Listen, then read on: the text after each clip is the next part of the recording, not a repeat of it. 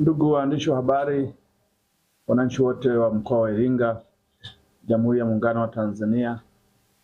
E, ndugu waandishi wa habari, siku ya madaktari wa wanyama duniani huadhimishwa kila mwaka katika, katika juma la mwisho la mwezi wa nne. Wataalamu wa tiba ya wanyama, madaktari na wasaidizi wao hutumia siku hiyo kionyesha jamii kazi mbalimbali wanazofanya katika kufuatilia, kubaini, kutibu na kudhibiti magonjwa mbalimbali katika wanyama kwa lengo la kulinda afya ya wanyama hao, lakini pia kulinda afya ya watu. Na shughuli hiyo husimamiwa na vyama vya madaktari wa wanyama katika nchi husika na kushirikiana na taasisi mbalimbali zinazojumuisha masuala ya afya ya wanyama na jamii, lakini pia serikali katika kuhakikisha kuwa jambo hilo linatekelezeka. Ndugu waandishi wa habari, mwaka huu maadhimisho ya siku ya madaktari wa wanyama duniani kitaifa yatafanyika katika mkoa wa Iringa kuanzia tarehe ishirini na tano mpaka tarehe ishirini na saba mwezi wa nne mwaka elfu mbili na ishirini na nne ambapo chama cha madaktari kwa kushirikiana na taasisi mbalimbali ambao ni FAO, SUA, TVLA, Wizara ya Mifugo na sekta binafsi kimeandaa shughuli mbalimbali za utoaji huduma za afya kwa wanyama katika katika halmashauri tatu za mkoa wa Iringa ambazo ni Kilolo DC, Iringa DC na manispaa ya Iringa. Aidha, kwa siku hizi tatu huduma huduma zitakazotolewa ni pamoja na hizi zifuatazo: moja, utoaji wa chanjo za kichaa cha mbwa na mbwa na paka. Mbili, utoaji wa chanjo za ya sokota ya wanyama wadogo kwa mbuzi na kondoo. Tatu, huduma za upasuaji kwa wanyama wadogo. Utoaji elimu kwa umma juu ya umuhimu wa tiba na udhibiti wa magonjwa kwa wanyama.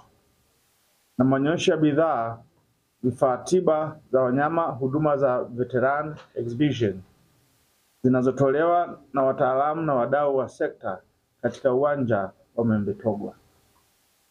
Aidha, kwa siku zote tatu mfululizo kuanzia leo, huduma za chanjo, upasuaji kwa wanyama, elimu, maonyesho ya bidhaa, vifaa tiba za wanyama na huduma za veterani zitatolewa bure kwa wananchi wote.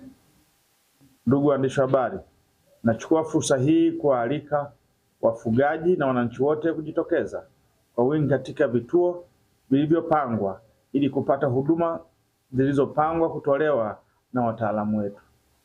Asanteni sana kwa kunisikiliza. Naam, kwa majina mimi naitwa Dr. James Muganyizi Kawamala, ni daktari wa wanyama, lakini hapa ni katibu wa heshima wa chama cha madaktari wa wanyama Tanzania. Leo tumekutana hapa katika kuanza juma la maadhimisho ya siku ya madaktari wa wanyama duniani, tunaita kwa Kiingereza World Veterinary Day. Sasa World Veterinary Day ni siku ambayo tunaiadhimisha kila juma la mwisho, Jumamosi ya mwisho ya mwezi wa nne ya kila mwaka, na lengo la maadhimisho haya ni kutaka kuonyesha umuhimu wa madaktari wa wanyama duniani katika utoaji wa huduma za tiba kwa wanyama, kudhibiti magonjwa, lakini pia kulinda afya ya binadamu, kwa sababu tunajua magonjwa mengi yanaweza kuwapata binadamu pia yanatoka kwa wanyama. Kwa hiyo sisi tunacheza katika kudhibiti magonjwa ya wanyama ili pia kumlinda binadamu.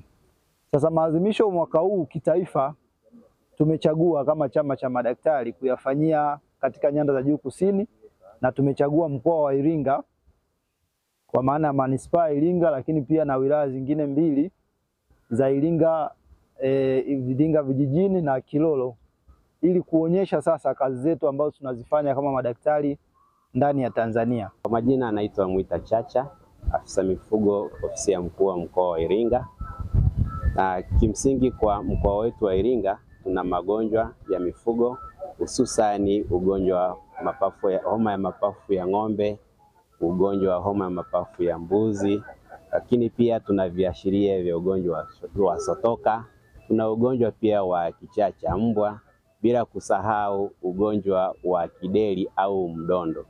Kwa ukiangalia magonjwa hayo yote yana uwezo wa kudhibitiwa kwa njia ya chanjo, na kupitia maadhimisho haya tunazidi kuhamasisha na kukumbusha na kukumbushana ili kila mmoja, kila mfugaji, kila mwananchi aweze kutekeleza wajibu wake kwa kufikisha mifugo yake kwenye eneo husika, vituo husika, ili waweze kupata chanjo bure kwa idadi au aina ya chanjo zilizoainishwa hapo juu. Kwanza kwa zoezi hili tuliokuwa nalo kwa kipindi hiki, kwa sababu kiuhalisia ni kwamba hili zoezi linatufanya tuweze kujua kwamba tuna mwitiko wa aina gani na tuweze kujua kwamba jinsi gani kwa kuwajali wanyama, kwa sababu wanyama mfano kama mbwa, mara nyingi sana hiki kitu kinakuwa ni, ni, ni kitu bora sana, kwa sababu kwanza unamfanya mbwa unamfanya mbwa kuwa kuwa active sana, afu unamfanya mbwa mtu hata kama akifika nyumbani kwako anaipata data nzima ya mbwa wako. Kwa hiyo hawa ndugu zetu walioweza kutu, kutuletea huduma hii, mimi naweza nikasema wamefanya jambo la muhimu sana, kwa sababu vitu kama hivi kwa mkoa wa Iringa wengi walikuwa wanajua hatuna hivi vitu, wengi walikuwa wanajua kwamba hakuna mifugo kama hii tunaoifuga kwa ajili ya ulinzi na kwa ajili ya, ya business, kwa sababu unapitia kwa mtu kama mimi naweza nikasema ni biashara pia kwa upande wangu.